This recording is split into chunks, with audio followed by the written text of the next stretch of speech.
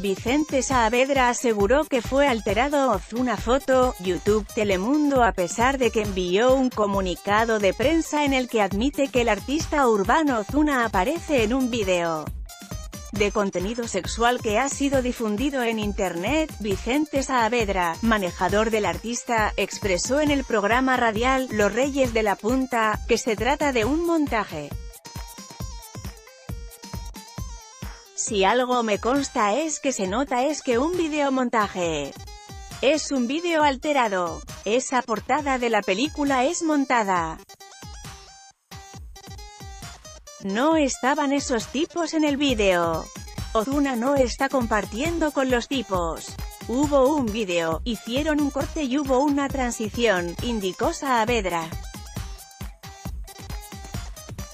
En el mencionado programa radial el manejador afirmó hoy miércoles, que el reggaetonero cometió un error en la juventud y que le toca enfrentar las consecuencias que asumió con la admisión.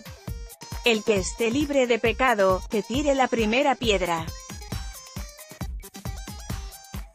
El hombre está claro y esto es una enseñanza de que tenemos que tener cuenta con la intimidad de las cosas que uno hace. Ozuna es mi gallito de pelea siempre y cuando él admita sus errores, aseguró el manejador a preguntas de Jorge Pavón, el molusco.